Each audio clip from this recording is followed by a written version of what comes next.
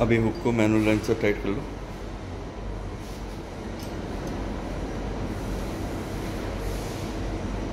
बस, अब torque wrench से 0.4 न्यूटन मीटर पे टाइट कर दो।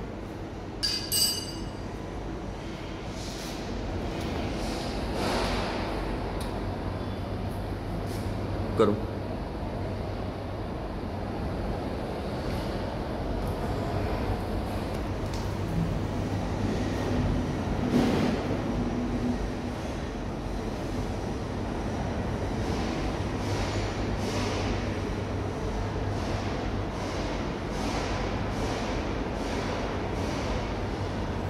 चलो।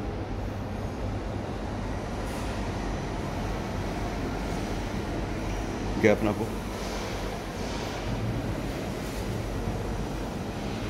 इसके अंदर अगले का नापो जो हमने पहले से करे हुए हैं। अगला नापो अगला नापो अगला देखो। सभी लगभग इसी तरह हैं और ब्लेड की टेंशन देखो ब्लेड कोई ढीला तो नहीं है। सही है सर अभी वर्नियर से ऊपर और नीचे का हुक का डिस्टेंस एक बार चेक कर लो।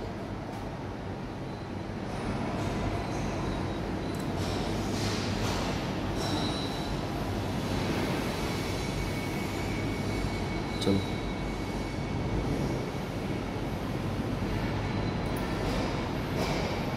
इसका नीचे से भी चेक करो?